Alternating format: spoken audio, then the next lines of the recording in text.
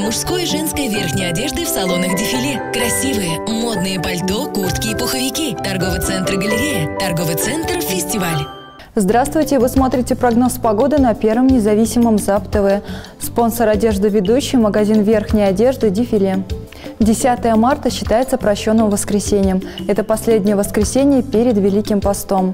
В этот день в столице края нас ожидает переменная облачность, ветер северо-западный 5-6 метров в секунду. Ночью столбик термометра опустится до минус 9 градусов. Днем нас ожидает до 2 градусов тепла. Не забудьте попросить у всех прощения и до встречи в эфире.